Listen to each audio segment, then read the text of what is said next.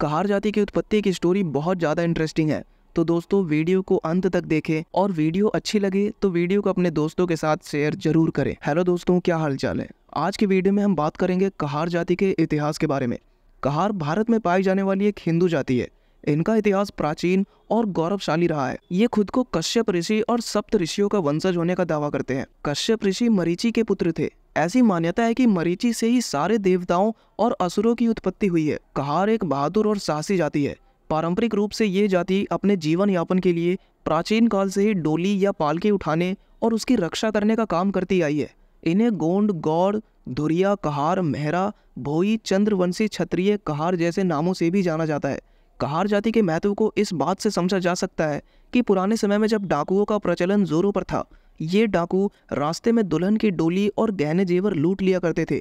डोली की रक्षा के लिए कहार दल का गठन किया गया था, जो दुल्हन की डोली को सुरक्षित, अपने गंतव्य स्थान तक पहुंचाते थे। इनके पूर्वज किसी भी परिस्थिति में जान पर खेलकर राज परिवार के बहु बेटियों को डोली में बिठाकर जंगलों और बीड़ों से होते हुए उन्हें दुश्मनों और डाकुओं से बचाकर सुरक्षित स्थान तक पहुंचाते थे। लेकिन राजे राजवाड़ों का शासन समाप्त हो जाने के साथ ही डोली उठाने का काम भी खत्म हो गया। इसके बाद इन्होंने जीवन यापन के लिए खेती, मछली पालन, टोकरी बनाने और उसे बाजारों में बेचने और दूसरी नौकरी व्यवसाय करने लगे। बदलते हुए समय के साथ ये लोग शिक्षा और रोज़गार का लाभ उठाते हुए अलग अलग काम धंधे करने लगे हैं।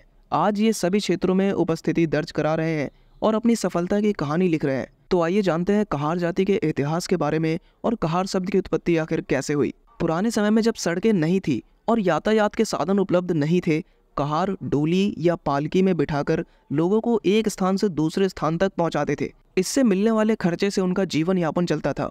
उस जमाने में डोली शान का प्रतीक हुआ करती थी। पालकी राजे राजवाड़ों, जमींदारों और संपन्न लोगों के लिए यातायात का साधन था। बाद में डोली को शादी के अवसर पर दुल्हा दुल्हन की सवारी के रूप में यूज़ किया जाने लगा। इसके लिए कहारों को मेहनत आने के साथ साथ दुल्हा और दुल्हन पक्ष के लोगों से दान और पुरस्कार मिलता था। कहार जाति को बिहार, उत्तर प्रदेश, मध्य प्रदेश, हरियाणा, पंजाब, दिल्ली जैसे राज्यों में ओबीसी यानी अत्यंत पिछड़ा वर्ग की कैटेगरी में रखा गया है। कहार जाति के लोग मुख्य रूप से बिहार, पंजाब, हरियाणा, पूर्वी और पश्चिमी उत्तर प्रदेश, राजस्थान और मध्य प्रदेश में रहते हैं। राजस्थान में ये सीकर, नागौर, झुंझुनू, जयपुर, गंगानगर, अजमेर, टोंक जैसे जिलों में इनकी अच्छी आबादी भी है। चंद्रवंशी क्षत्रिय कहारों का एक समुदाय है, जिनकी उत्पत्ति गंगा के मैदानी इलाकों में हुई थी। ये धार्मिक और पवित्र अवसरों पर पालकी ढोने का काम करते थे। चंद्रवंशी क्षत्रिय कहार भारत के अधिकांश भागों में पाए जाते हैं, लेकिन विशेष रूप से ये उत्तर भारत में सेंट्रलाइज्ड है।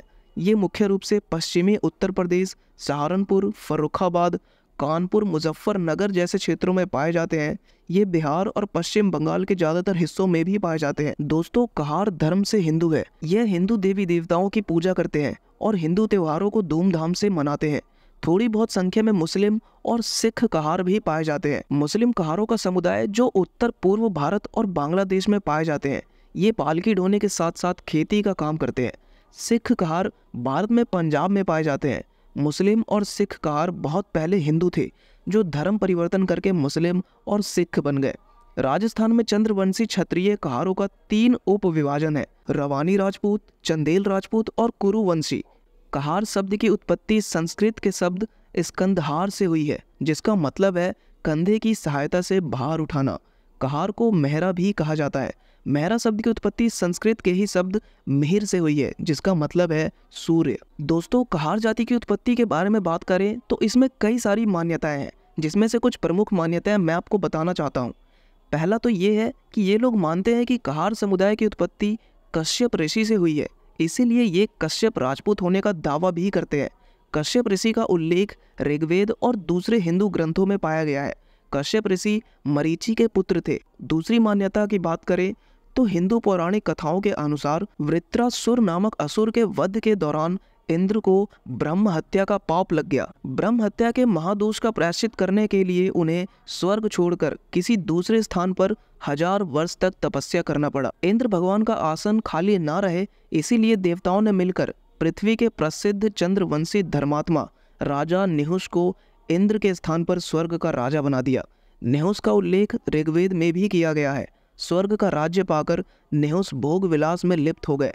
एक दिन अचानक उनकी दृष्टि इंद्र की साध्वी पत्नी सची पर पड़ी। सची को देखकर वह कामांध हो उठे और उसे प्राप्त करने के लिए हर संभव प्रयास करने लगे। ब्रह्म हत्या के दूध से मुक्त हो जाने के बाद इंद्र फिर से शक्ति संपन्न हो गए। लेकिन इंद्रासन पर निहुस के विराजमान होने के कारण उनकी पूर्ण शक्ति वापस नहीं मिल पाई। उन्होंने अपनी पत्नी सची से कहा कि तुम निहुस को रात्रि में मिलने का मौका दो। लेकिन उनसे ये कहना कि तुमसे मिलने सप्त ऋषियों की पालकी में बैठ कर आए। सची का संकेत मिलने के बाद नेहुस रात में सप्त ऋषियों की पालकी में बैठकर सची से मिलने जाने लगे।